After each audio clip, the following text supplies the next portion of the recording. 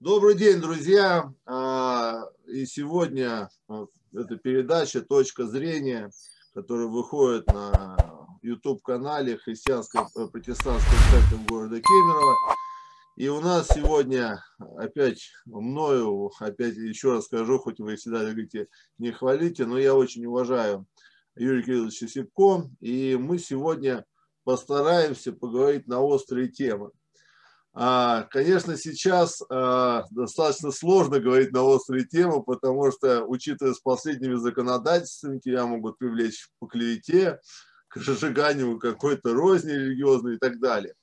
Но а, все-таки Писание учит нас, чтобы мы были солью, были светом, и чтобы мы все-таки, как слово, как подобно обоюдоострому мечу говорили, отделяли ложь от от правды. От правды, да. лжи, да. Ложь от правды. Юрий Кириллович, а, добрый день еще раз. Приветствую, приветствую, Андрей Владимирович, приветствую всех, кто нас смотрит. Приветствую. Юрий Кириллович, хотелось бы, знаете, а, вот недавно буквально были большие э, события а, в Хабаровске, в Белоруссии. До этого были события в Украине. И сейчас, можно сказать, волна докатилась до России. 112 городов вышло. А, вышло с протестом. А, конечно, детонатором сыграл прилет Алексея Навального, который по большому счету призвал выйти на несанкционированный митинг. И, и люди вышли. И вот, во-первых, что, первый мой вопрос, что вы видите, что сегодня происходит в России? Почему такой масштабный взрыв? Ну, что сказать э, происходит в России? Россия находится в таком состоянии уже несколько веков, как это несладостно звучит.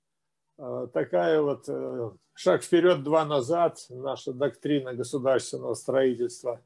Мы наш мы новый мир построим, разрушив прежде до основания. Вот это наша кредо национальное. Можно, конечно, общими формулировками тут находить объяснение происходящим процессам, но все-таки в государстве российском происходят объективные процессы. Умирает старое, рождается новое. Вы, мы живем в 2021 году, 21 век, уже 21 год.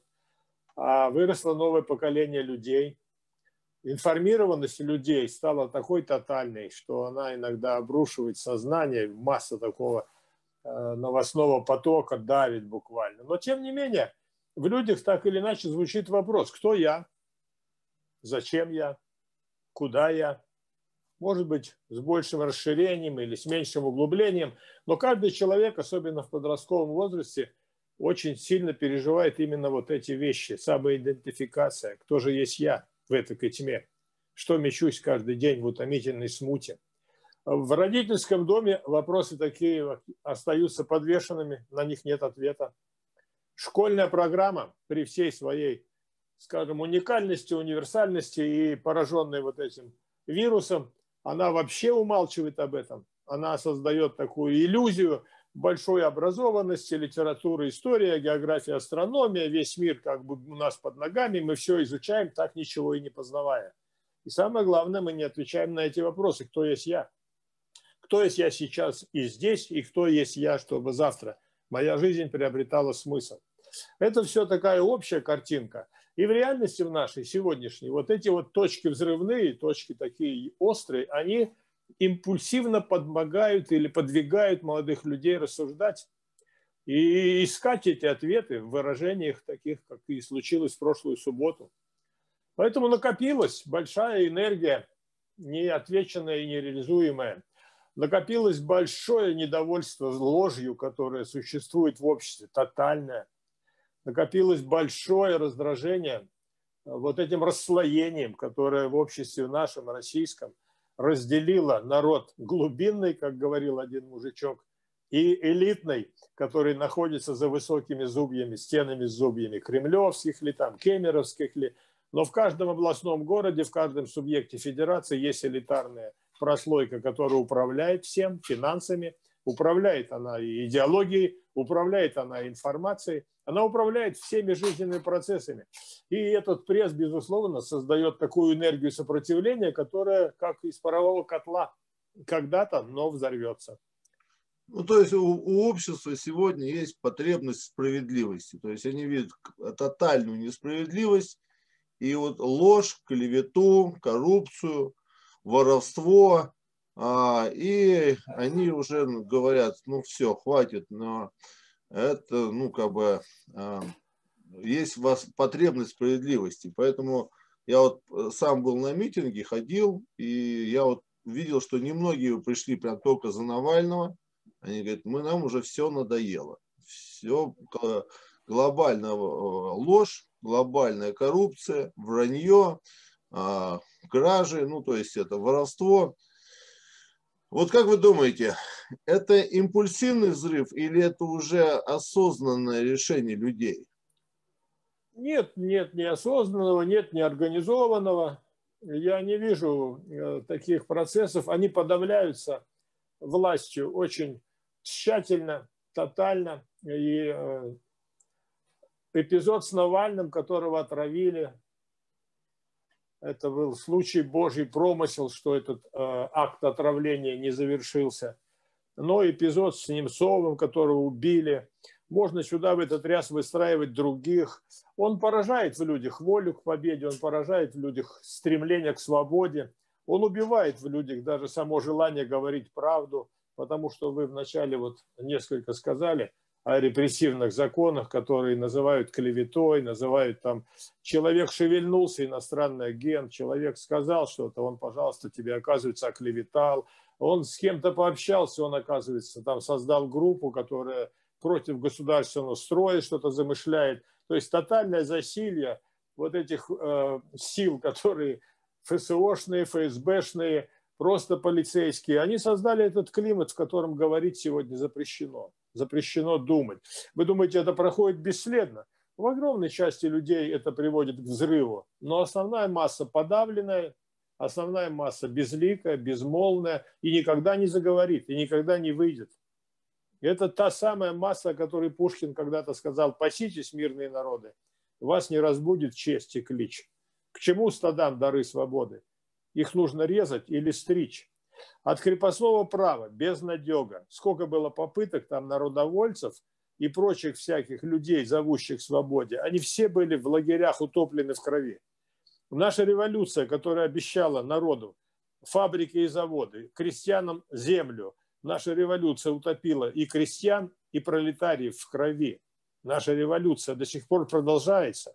И мы сейчас с особым тщанием поднимаем эти пласты прошлого – той самой вот этой гулаговской системы, в которой вот этот лагерный режим управлял всеми процессами. И этот э, простой э, формат, когда кто на кого сказал, кто первый сказал, кто первый донес, доносчик остался, а вот тот уже сидит. Это же сегодня все всплыло, воскресло. И в обществе нету энергии жизни.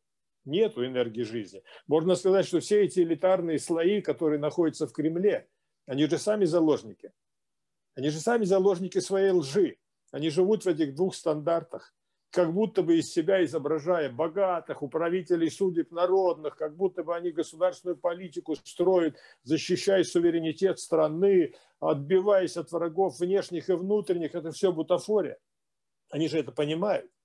Любой артист, самый такой, знаете, известный и успешный, он на сцене отработает час-два. Ему надо неделю отдыхать, приходить в себя – а эти работают в этих ролях чужих день и ночь. Они уже вот так истощились, они уже выхолощены. У них внутри пустота. Но они уже не могут выйти из этой роли. Они же заложники этой роли. Но поэтому, когда вы говорите о возможном таком массированном, продуманном сопротивлении к переменам, такого нету. Нету. Почитайте все э, сегодняшние рассуждения, философские, политические, они, они до такой степени пустенькие, они до такой степени местнические, в них нет по-настоящему тех самых фундаментальных ценностей жизни человека, который основа всего, который образ Божий, в котором даны Богом и права, и свободы, и достоинства. Где, в каких политических программах человек стал по-настоящему человеком? Только у Христа. Только у Христа. Да Христос, чтобы спасти меня, человека, он на крест себя отдал, на муки. А сегодня эта драчка, которая вот так вот выливается в тотальное преследование, сейчас хвастаются эти правоохранительные органы. Несколько сотен человек, несколько сотен уголовных дел заведено. В отношении кого? В отношении граждан, смирных, послушных, покорных.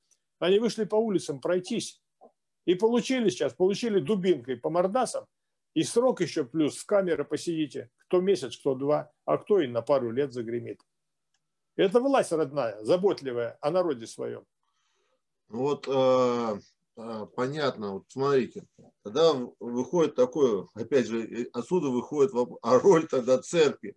Вот с одной стороны, да, как бы, а роль церкви вот, э, вот в, в это смутное время, как вы ее еще видите? Кто-то говорит, ничего нельзя поменять. И вот наша задача просто людей приводить ко Христу, к покаянию, учить их жить христианской жизнью и не вмешиваться во все эти процессы.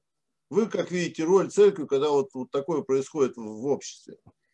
Как я вижу роль церкви, то есть я ее вижу как реальная картина. Она в обществе нашем находится на позициях, обслуживающих власть. А церкви как автономного, самодостаточного духовного института в России нет. Надо признать это по-честному. Она живет под покровом э, власти, и она угодливо обслуживает интересы власти. Она осуждает людей, которые хотят свободу и хотят достойной жизни. Но она хвалит и, и всячески поощряет власть, которая зажимает людей, превращая их в бедное и, бес, и беспомощное существо. Ведь это же политика, она же сознательная политика. Пенсионер, он живет в состоянии вот лишь бы выжить и в этом состоянии лишь бы выжить, у него нет никакой энергии на то, чтобы свои права заявлять. У него главное, чтобы хлеб был и чтобы было лекарство, потому что он вот только и живет в этих двух измерениях. Хлеб и лекарство. Все. И он поставлен в эти условия, вот их огромное количество, несколько миллионов, десятков миллионов, живут так. Церковь обслуживает интересы государства, и поэтому, когда вы говорите, а какая роль церкви? Чтобы роль церкви обозначить, нужно церковь обозначить. Есть она у нас? Такая церковь, которая настоящая водится силой Духа Святого, у которой Конституция Священное Писание, у которой человек является главным субъектом права, достоинства, которому она служит, как Христос говорит, я пришел послужить. Я не пришел, чтобы мне служили, я пришел послужить, я пришел взыскать и спасти погибшее. Сегодня церковь, если уж говорить так вот, ну, в таком массовом представлении с золотыми куполами, это не та организация, которая служит людям. Это та организация, которая людей ставит в рабское положение и заставляет этих людей служить церкви. Тащите сюда яйко млека, тащите сюда денежку, тащите сюда свое состояние рабское, стойте на паперти, как рабы, а мы на тебя брызнем водичкой мы позволим тебе окунуться в прорубь, и, может быть, мы позволим тебе приложиться и причаститься святых мощей. Где вы видели церковь, у которой есть голос свободы, голос правды, достоинство, которое готово снова встать, как Христос, на крест? Так во все времена настоящие последователи Христа за униженных, за оскорбленных, они становились под это орудие пыток, они терпели себя и отдавали своих мучеников на костры инквизиции. А что сегодня наша церковь? Наша церковь сегодня сама на инквизицию тащит, сама эти костры разжигает, сама осуждает людей, понимаешь, на эти узилища. И вы говорите про церковь. Сегодня можно говорить о людях, у которых есть дух, и которые имеют вот это внутреннее горение, чтобы себя, по крайней мере, не, не потерять, не унизить, вот чтобы себя сохранить как достойную личность. Вот индивидуально, автономно, вот это вот запрос, я бы сказал – а нам требуется отвечать на этот запрос. Человек, который должен быть честным, даже перед лицом угрозы, не лгать, даже перед лицом потери своего имущества, не воровать, даже перед лицом потери свободы, не, никого не насиловать, никого не угнетать. Это принципы, которые у нас не звучат в обществе. Вообще не звучат в обществе. Вот, И э, в церковной ограде они не звучат. Вот, э, вот а, Юрий Кириллович, немножко из своего опыта скажу. Я сейчас стал делать вот такую журналистику, такие передачи. И угу. вот мне дошло информация, ну, скажем так, что я в городе узнал, а, что полмиллиарда выделили на стройку сиротов. Построить дом для сирот. В вашем, в вашем Кемерово. В нашем Кемерово. В ноябре должна быть сдача. Там только фундамент. Ну, угу. как бы. И я это дело озвучил. Озвучил и, короче, а, насколько мне дошла информация, а, там наверху уже отчитали, что все построено, все освоены деньги. Угу. Приехала прокурорская проверка. К фундаменту, да? Да, к фундаменту. И здесь пошел кипиш. И вот, ну, как бы, и вот здесь вот такой момент. С одной стороны, Библия, ну, меня упрекает, ты пошел против власти, ну, то есть вся власть от Бога часто цитируют. Я говорю, подождите, но церковь же по Библии, она выше любой власти стоит. Ведь Бог дал церкви а, вразумлять как простого, так и царя. Ну или другой момент, вот смотрите, заступаться за сироту, это по, по Писанию, по Писанию. Если ты видишь, что ниже стоящая власть своровала в образные деньги, если бы мы не подняли, то Москва бы это не узнала. Так ну, я должен, как вот, э, э, если я вижу воровство, власть имущие, который брать, должен ли я это обличать, должен ли я высвечивать это, если я это реально вижу, должна ли это церковь делать? Или когда видит, что это самое вообще несправедливость по отношению к человеку делает, должны ли духовно сильные люди, может быть, ладно, а, упустим церковь, духовно сильные люди, верующие, а, как бы вот поднимать этот голос. Вот ваше мнение. Ну, безусловно, должны. Ведь, э, как Христос сказал, зажегший свечу не ставит ее под столом, ее ставят на подсвечнике, чтобы она светила всем. А что значит, чтобы она светила? Вы свет миру. Это значит, она как раз освещает вот эту тьму и обнажает сокрытое, обличает вот эту неправду. А в чем миссия была этой церкви или этих христиан? И в чем вообще призыв христиан? Покайтесь и веруйте в Евангелие. Значит, вы покайтесь, то есть осознайте свою нечистую сущность, свою неправоту и изменитесь. В Евангелии есть законы правды. Когда мы об этом говорим, брат дорогой, здесь только плакать приходится. Опять же, ведь мы же видим э, массовое такое вот проправославное сегодня христианство в России. Я пытался тоже иногда говорить не чиновникам, у которых, ну, что называется, слава и деньги глаза застилает, и они уже не слышать не могут, не делать не могут. Я пытался к батюшкам говорить. Батюшки, ведь все вот эти воры, вот эти вот все, которые коррумпированные чиновники, которые миллионы э, сиротские себе на даче на разные фазенды и яхты уворовали, ведь они приходят к тебе, ручку целуют. Ведь ты им причастие даешь. И они у тебя исповедуются. И ты знаешь, что они воруют.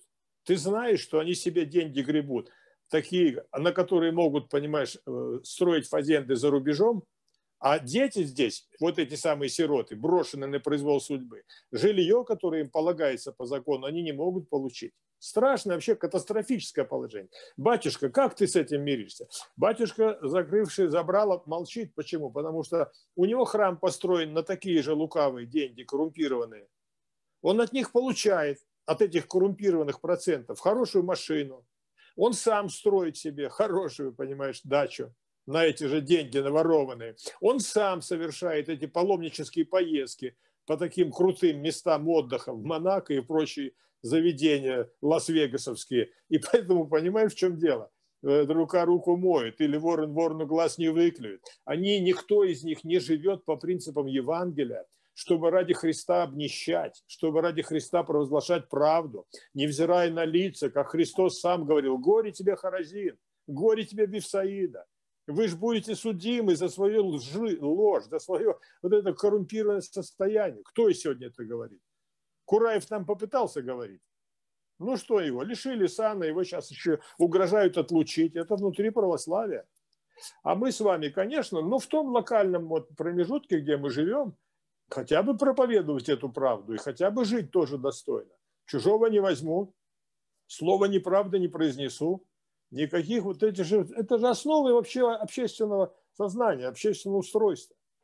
Поэтому, когда вот вы болевые точки называете, у меня просто стынет кровь от беспомощности и от того, что именно церковь, обладая откровением Божьим, встала на службу вот этой лжи. Вы Навального назвали, демонстрантов назвали.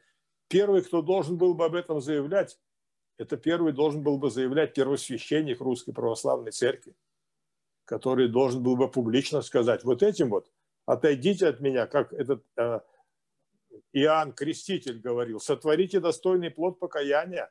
Что вы мне несете цветы? Что вы мне несете свои подачки?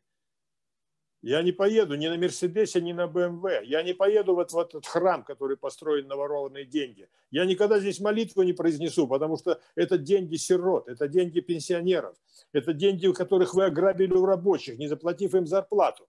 Вы построили здесь храм, вы золотые, понимаешь, купола на них воздвигли. Вы хотите, чтобы вот эту свою мерзость, свое воровство, кровь этих людей безвинных, чтобы здесь мы замаливали за вас? Никогда этого не будет.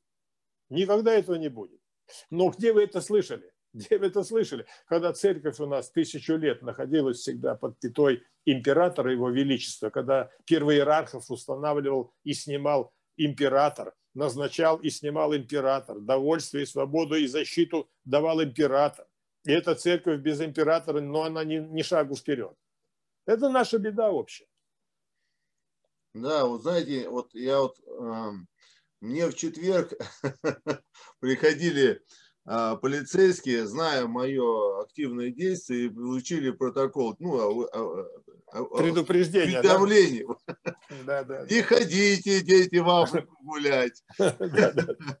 Вот. И, и, и меня, если честно говоря, это сильно разозлило. Я сделал ролик. Я говорю, вы будете диктовать мне повестку дня. Ну, и я как бы да. так жестко дал ответ свой по поводу, буду я, не буду я. И знаете, что самое интересное? Я некоторую часть ролика кинул э, в ТикТок, сейчас популярный, молодежный. Ага. Ага. За двое суток 73 тысячи просмотров. Вот так. И причем говорят, говорят, на, наконец-то батюшка начал говорить правду. Кто-то говорит, да недолго ему жить. Слава Богу, остались священники. И в основном вот говорят, вот, вот молодец, хорошо, огонь, сильно, все правильно сказал. И у меня вот тут отсюда исходит такой сразу тогда вопрос. Они из-за того ли, что священники сегодня молчат, ну, э, сегодня люди, вот одни говорят, был бы я в Кемерово, я бы обязательно ходил бы в, в этот храм. Ну, они, ну да. священника, не знаю, православный там я или протестант. То есть не из-за этой ли позиции сегодня а, церкви уменьшается, не растут, не имеют авторитета молодежи? Конечно, за этой позиции. Ведь абсолютно безгласная церковь. Вы вот называете болевые точки, то, где действительно течет вот этот гной в обществе и в отдельной судьбе. Посмотрите Евангелие, посмотрите Христа, пройдите с Ним вместе. Христос Иисус именно туда шел. Вот там страдающая вдова, вот там парализованный человек, вот там находится под прессом давления люди, его за это обвиняют. Чего ты там ешь и пьешь с мытарями и грешниками?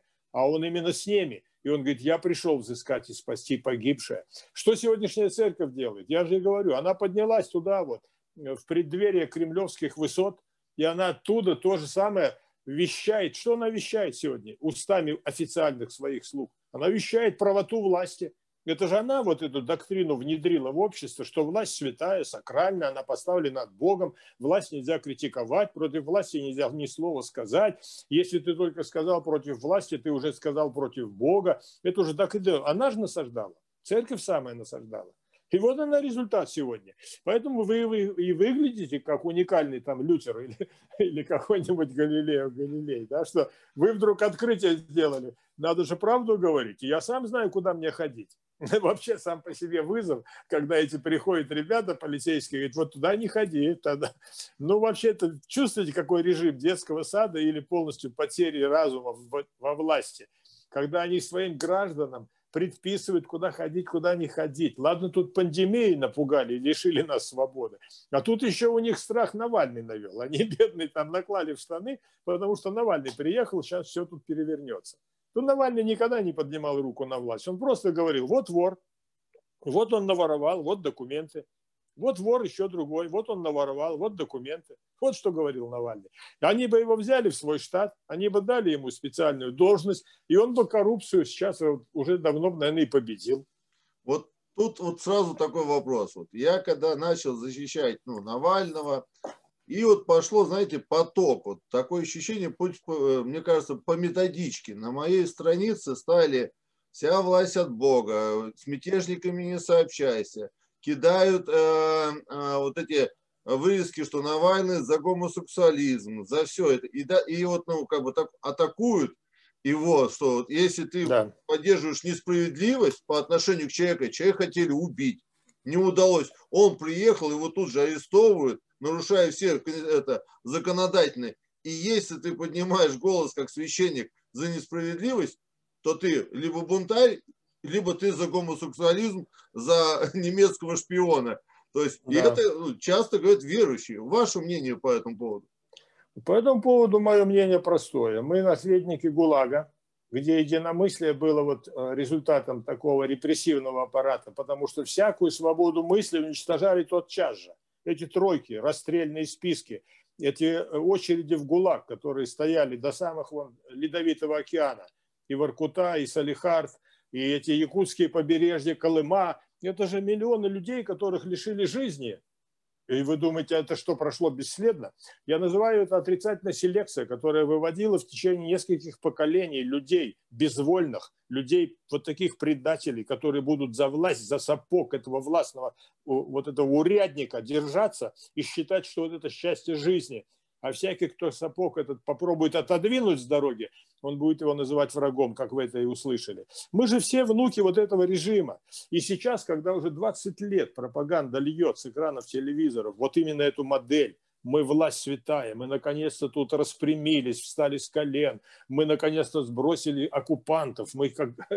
ну, это глупость, которая вообще не вписывается в реальность, но она поразила сознание она вот эту вот единственную извилину, которая и так прямая, она ее так облепила, что туда не пробивается лучик света. Попробуй человека такого пригласить к размышлению. Давайте вот взвешиваем то и другое. Твое заявление и реальность жизни бесполезно. Вы замечаете, что там нет способности рассуждать. Вот они в этом клише, которое им внедрили, в которое их с пеленок засосали, а они там сидят. Даже мы, мы же это помним. Поэтому, когда вы увидите человека, способного рассуждать, он уже давно уехал, хоть в Португалию, хоть в Австрию, хоть в Аргентину. Он отсюда уехал, потому что он увидел, здесь топь уныния, здесь болото, которое нельзя ничем, нельзя осушить. Здесь правда сразу считается злом, преступлением, за нее расстреливают. Но это же, это же опыт, это же пережитое. Возьмите людей веры, например, наш протестантский, поток людей. Они все прошли через тюрьмы. Они все прошли через тюрьмы. Не просто им там писали, ты там глашатый или ты там агент иностранный. Их в тюрьму. И статья простая, хоть тунеядец, хоть что угодно. Сегодня то же самое. Объясните себе и людям, почему свидетели Иеговы в тюрьме. Когда-нибудь посягали они на государственный строй, на какие-то политические преференции. Когда-нибудь они просили себе каких-то особых э, условий. Никогда. Они никогда никого не трогали, они просто говорят, мы веруем в Иегову. Вот в Писании, в Священном написано такое его постановление, мы ему веруем. Все. Их, понимаешь, мало того, что сделали экстремистами, в тюрьмы загнали. Шесть лет срока за молитву, за чтение Библии. Что это за режим? И, и вокруг него вот это создается именно такая атмосфера, что вот это они враги, они же там, понимаете, иностранные агенты. В обществе это воспринимается в раз. Плюс вам это пишут так называемые боты, проплаченная агентура, которая была посажена вот в этих цифровых системах с определенным заданием, какие высказывания должны быть объектом вашего, на них сразу реагировать.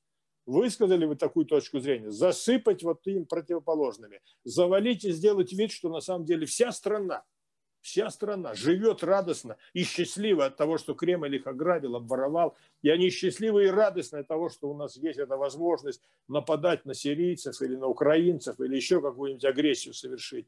Мы очень счастливы, потому что наши там взломали какие-то компьютерные сети в Америке. Мы просто ну, на седьмом небе от счастья. Это же создается искусственно такое мировоззрение. И оно у нас вот получает продукт, как говорил один умный, мы долго-долго делали советского человека. И, наконец, о ужас, мы его сделали. Попробуй исправь. собачье сердце там исправили. Там, там еще успел. А вот уже здесь у нас не успеешь. Ну да, э, у меня на, на этой неделе была вторая апелляционная инстанция, в суде был. Так там вообще, знаете, вот, ну, просто я своему адвокату сказал, говорю, Алексеевич, Николай Алексеевич, говорю, вот твоя работа, она уже не нужна. Угу. Потому что, вот смотри, мы до чего дошли. Если у тебя хочет отжать бизнес чиновник элемент, ты в судах правды не найдешь. Не если, найдешь нигде, да. Если у тебя захотят э, деньги забрать, ты в судах правды не найдешь. Вот у меня, представляете, я проповедовал а, серебролюбие коин всех зол. И начал говорить, смотрите, у нас как воруют. И вот, вот если это зло не убрать, то не поднимется страна. И меня взяли, выдернули некоторые стихи, и, там, и уже вторую инстанцию, представляете, осудили, что я разжигаю межрелигиозную и межнациональную роль. Ну, а эта фраза, она же такая, любой, любому слову ее подставь и попробуй что-нибудь доказывать, сколько угодно. Да, и вот в этом-то абсурдность, что ну, вообще исследования проходят, просто пишут какое-то дело, и просто и судья вот так шлеп, все правильно, все правильно. Хотя никто проводил экспертизу, не имеет образования соответствующего. Ну, в общем, угу. и ты, вот ты видишь, что сегодня, ну, как бы на месте суда беззаконие. На месте, да, где должна быть да. справедливость, ложь. И вот я тогда вот, я когда это все это вижу, потому что сам нахожусь, у меня как бы, ну, внутри, как бы я понял, что, ну, надо идти, вот пока, вот, знаешь, будешь отвечать перед Богом, надо идти, и, как говорится, и неважно, а, как там да. дальше будет. Не щадя живота своего. Да, да. не щадя живота. Да. Но у меня отсюда вопрос. Вот, допустим, первого, да, вот знаете Геннадий Махненко, сегодня вот слушал, да. и он просто так вот сказал, а, уходите от гендерных пасторов. То есть он говорит, если люди говорят, у тебя, у каждого своя правда. Ну, то есть, и он говорит, ну как у каждого своя правда? Священник обязан доковыряться, что есть истина, и высказать правду Божию. Это то же самое, ну, как бы ты не определился, то ли ты мужчина, то ли ты женщина. Ты гендерный пастор. И говорит, эта церковь не может быть живой. Вот как вы относитесь к такому выражению гендерные пастора? Ну, мы выражений много можем найти, но на самом деле это то, что Христос определил лжеучителя. Вот есть пастор истинный, да, а есть э, наемник, вот так он сказал. Вот этот гендерный пастор, он есть и молодой такой, не обязательно, чтобы он был старик, которого уже выжил из ума. Или у него просто философия жизненная вот такая, сформированная в Советском Союзе. Сегодня молодых сколько угодно вы найдете, и они с пеной у рта доказывают, что власть священна, на нее никаким образом нельзя косо посмотреть. Вот. Не, невзирая на реальность, это люди, у которых отсутствует собственно критическое мышление. Поэтому вот можно уходить от гендерных пасторов, но куда мы пойдем? Важно, чтобы нам вот рядом со Христом оказаться. Вот для меня уже теперь я гендерный и пастор, и дед, и, и все, что хочешь, но для меня Христос, вот это вот жизнь жизнь явилась. Вот это тот, который говорит, я есть путь, истина и жизнь. Тот, которого я исследую в течение моих лет жизни в Советском Союзе, в теперешней России, в церковной аудитории, в светской аудитории, я нахожу, что вот при всем многообразии мировоззрений, э, философий, вот это действительно настоящая истина, которая во все времена остается неповрежденной, остается универсальной, остается такой истиной, которая открывает двери в небо. Вот я бы сдержался такого пастора, который стоит сейчас вот как Павел говорит, доколе не изобразится в вас Христос. Ну, мы это за дерзость почитаем, но я за то, что вы во Христа крестившиеся, во Христа облеклись. И вот сегодня моя ответственность, если я облегся во Христа, быть Христом.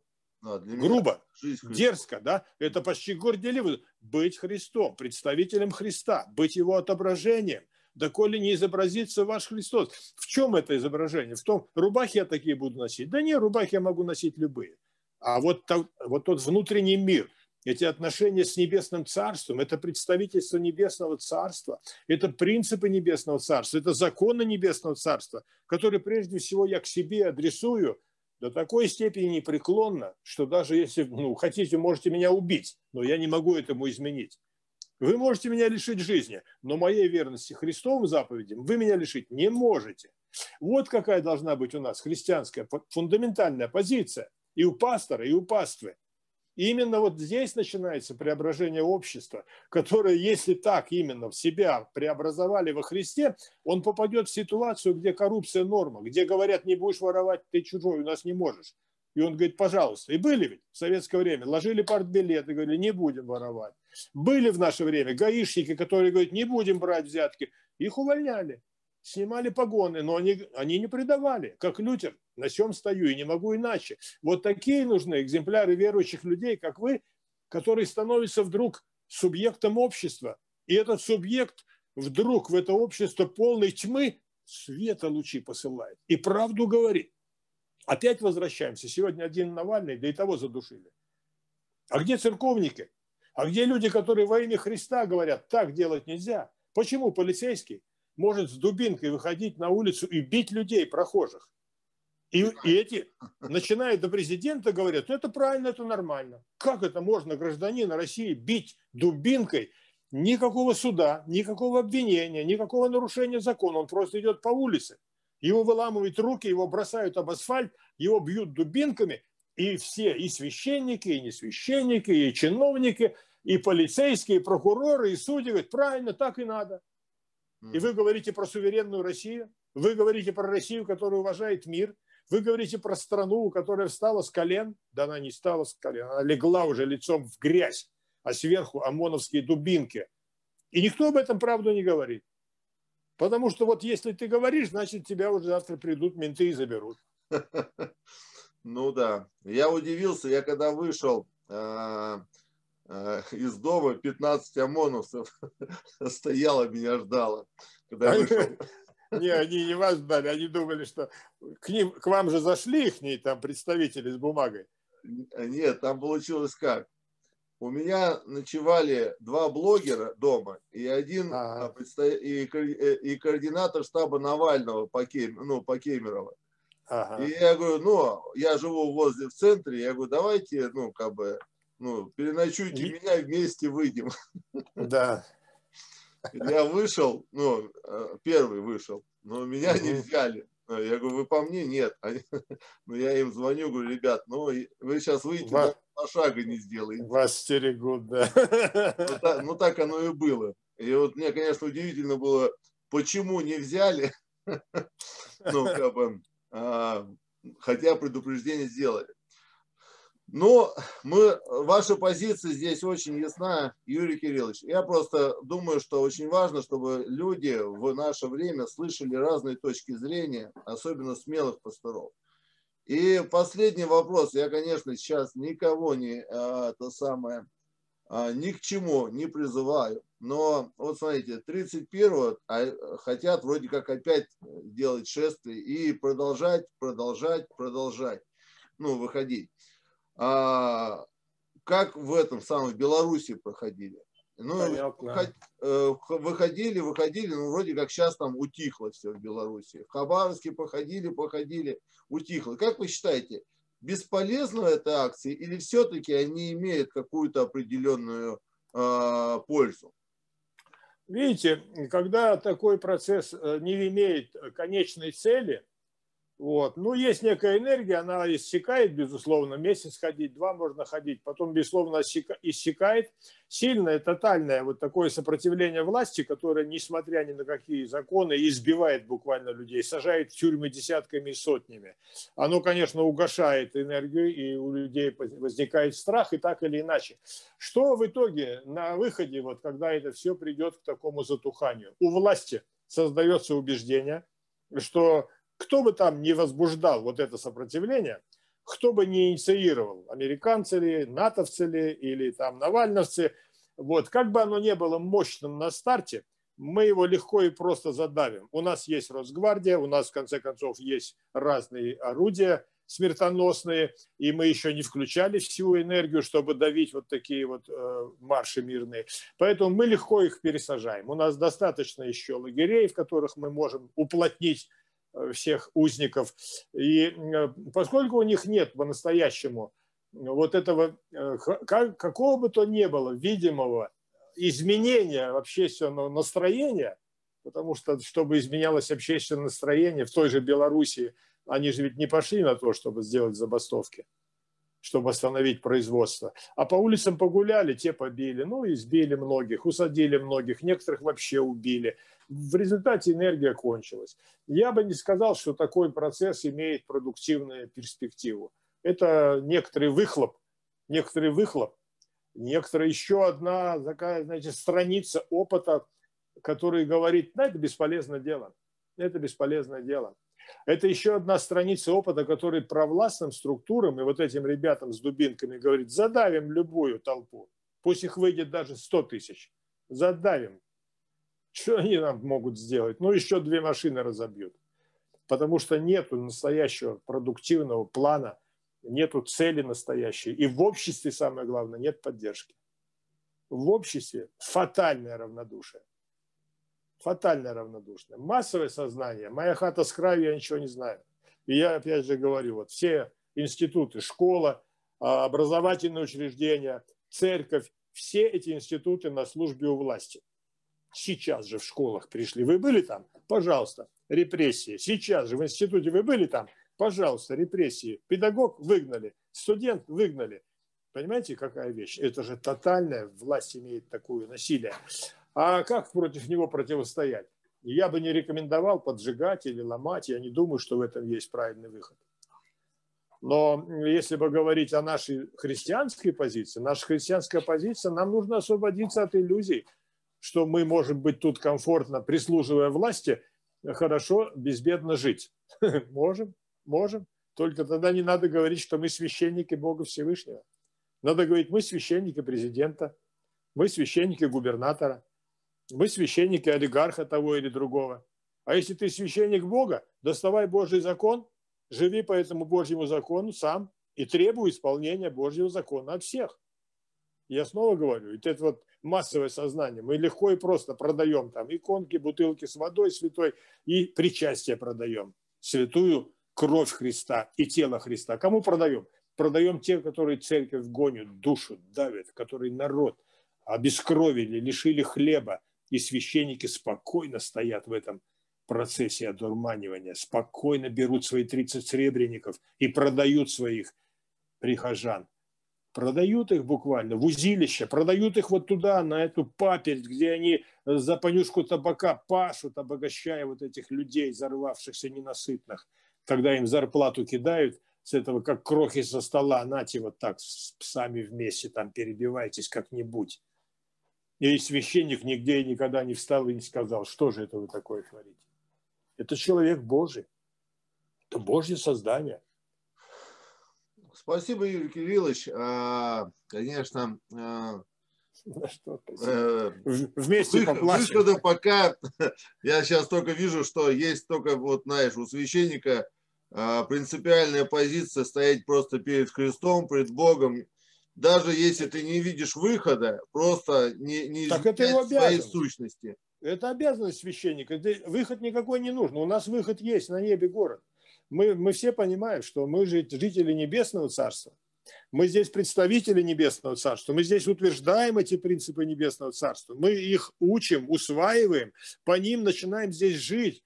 Но только лишь это добровольное дело. Христос говорит, не хотите ли вы отойти от меня? Вот туда, там пиршествуют блистательно. А со мной, а со мной вы будете изгоями, и ваше имя пронесут как бесчестное за меня. И распнут вас за меня. И оклевещут вас за меня. Поэтому, когда мы говорим об устройстве вот этого земного, этого торжища, мы попадаем так или иначе в революционную струю, которая ничего кроме крови не производит. А если мы остаемся со Христом, утверждая принципы, тогда нас кровь прольют, но мы останемся чистыми и святыми. И мы действительно, как мученики, за веру будем. И тогда уже Царство Небесное принят нас в объятия свои. А это и главное, что ради чего стоит жить.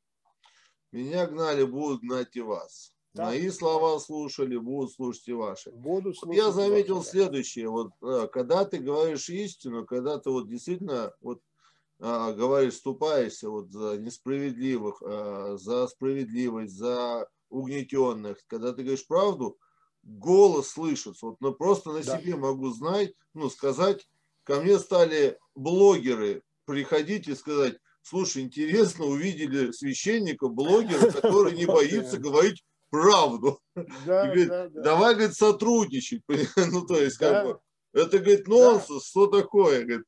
То есть, хотите, вот мне просто всегда, вот я смотрю, там э, некоторые пастора выставляют эти, ну, там, сейчас зум-конференции, Россия, да, да, да. и такие кричащиеся лонги. А я думаю, как Россия будет спасена, если ты сегодня не спасаешь, не говоришь слово да. а, за, за угнетенного, за, за несправедливо осужденного, а, за сироту. Как она будет спасена? Просто то, что ты крикнешь, и вот это все это будет происходить, помазание сойдет, огонь придет. Как это вот?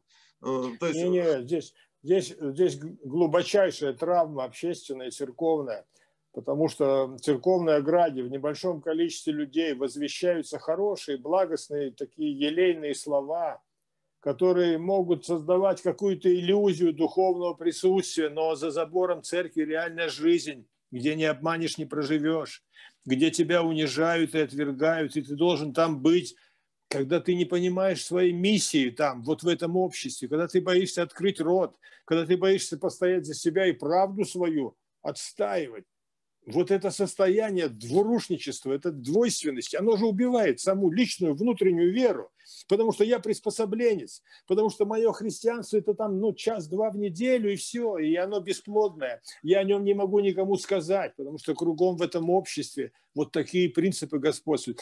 И, и священник, который должен был бы помочь выйти из этого состояния раздвоения – чтобы я представил себя христианином, чтобы я пошел, как это говорит, эти всесветные возмутители пришли сюда, в темницу их, убить их. Но они-то оставались, и за ними вставали новые люди. А за нами кто будет вставать, если мы такие же, как они, присмыкающиеся? Сами тоже облизываем сапоги чиновников, сами им там аплодируем и говорим, ах, наша любимая власть. Так а что, что за нами идти? Они сами такие, и все такие. Вот когда скажешь правду, вот когда скажешь правду во имя Господа Иисуса, вот тут уже голос, о, что это такое звучит? Такого раньше не было. Неужели есть другое? Есть другое. Есть святой, есть праведное. Господь неизменный, Он с нами. Андрей Владимирович, спасибо да, вам большое. Спасибо вам большое. Мы с вами почти час общались. Юрий еще раз спасибо большое. Я думаю, а, действительно, как в Писании сказано, возбуди, возбуди храбрых. То есть да. я думаю, что вот эти беседы, они прежде всего должны, ну, как бы, коснуться тех людей, которые пред Богом хотят, пред Христом хотят Его волю.